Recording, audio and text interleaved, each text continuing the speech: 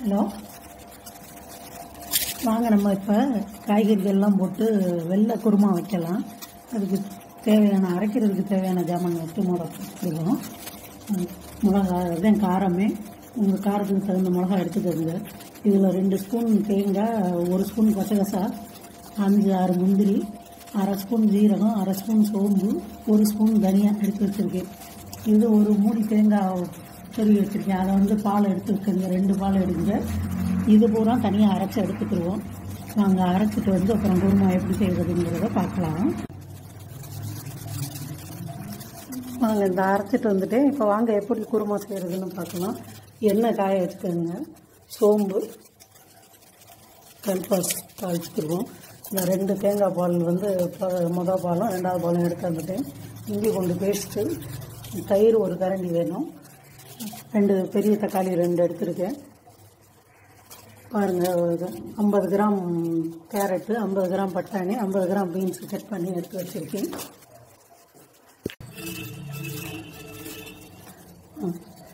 வெங்காயம் ஒரு பெரிய வெங்காயம் கட் பண்ணி வச்சுருக்கேன். உருளைக்கிழங்கு பாருங்கள் ரெண்டு உருளைக்கிழங்கு சின்ன கிழங்கு தான். அது பொடியாக கட் பண்ணி வச்சுருக்கேன். இனி வாங்க எப்படி குருமா செய்யறதுன்னு பார்க்கலாம்.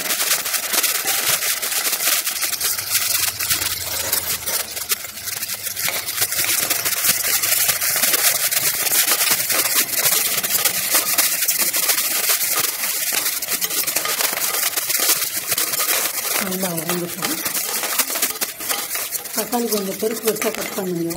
இல்லைன்னா கலர் மாறிடும். ரெண்டு தக்காளி போடுங்க போதும்.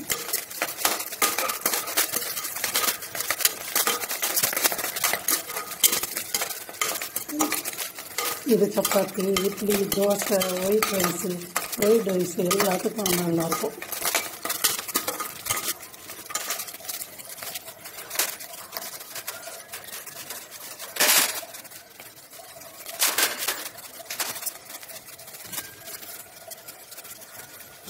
இஞ்சி கொண்டு போய்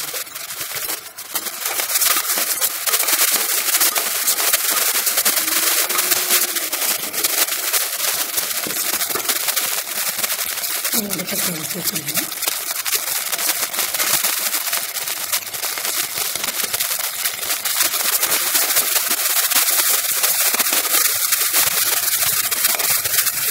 ரெண்டு தக்காளியும் நீள நீளமாக கட் பண்ணியிருக்கு.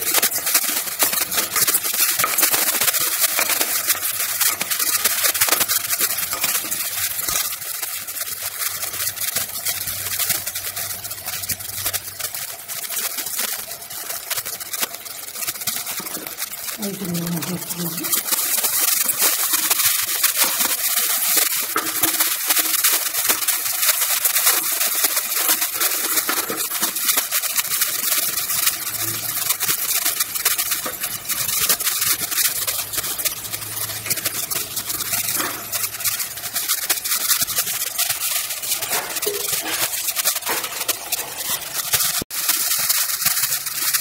உருளைக்கிழங்கு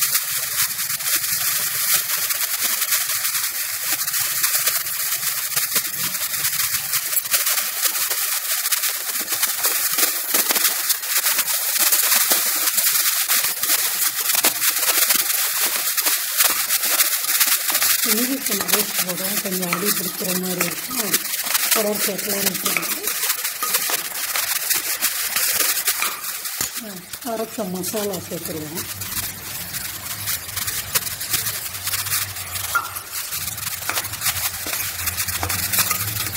இது கொஞ்சம் நல்லா வதங்கட்டும்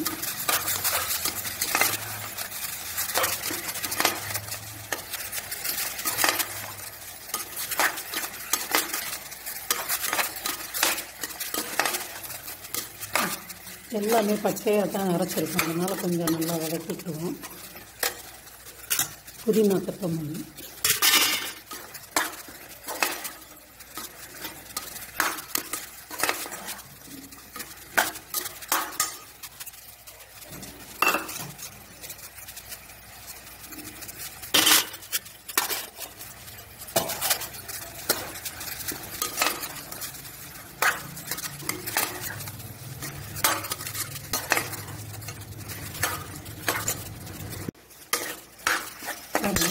தயிரை சேர்த்துருவோம்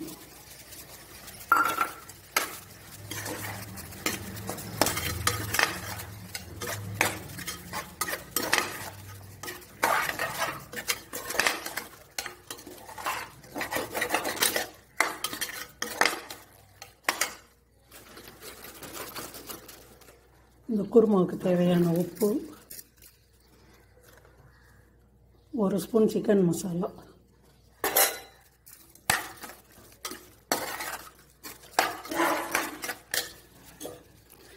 தேவையான தண்ணி ஊற்றிடுவோம் தேங்காய் பால்லாம் சேர்க்கணும் அது நல்லா இது போதும் ஒரு விசில் வரவும் ஆஃப் பண்ணிட்டு அப்புறம் பார்ப்போம் குக்கர் மூடி வச்சிடலாம்.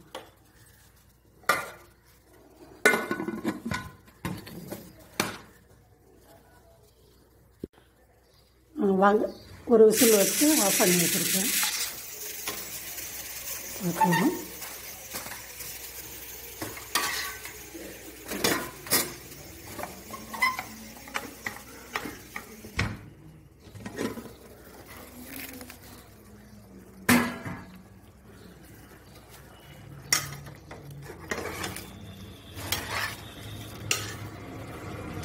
இது ரெண்டாவது தேங்காய் பால் ஊற்றிடுவோம் ஒரு கொதி வரவும் மொதல் தேங்காய் பால் ஊற்றிட்டு இறக்கிட வேண்டியது. உப்பு காரம் எல்லாம் உங்கள் டேஸ்ட் பண்ணி பார்த்துக்கோங்க.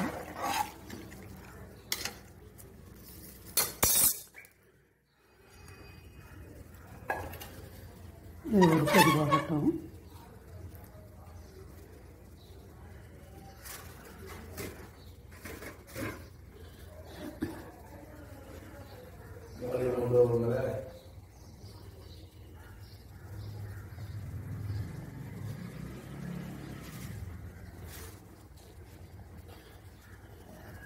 பாருங்கள் கொதிக்குது.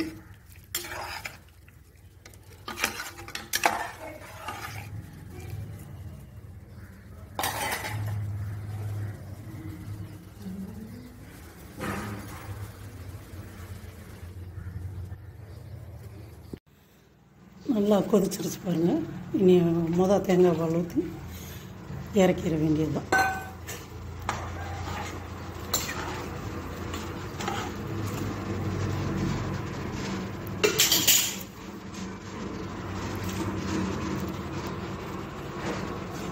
எங்கள் குருமா ரெடி. நீங்களும் இதே மாதிரி செய்யுங்க. பாருங்கள் பாருங்கள் சப்பாத்தி குருமா. நீங்களும் சப்பாத்திக்கு எதுக்குனாலும் இதே மாதிரி செஞ்சு பாருங்கள் நல்லா எல்லாத்துக்கும் நல்லாயிருக்கும்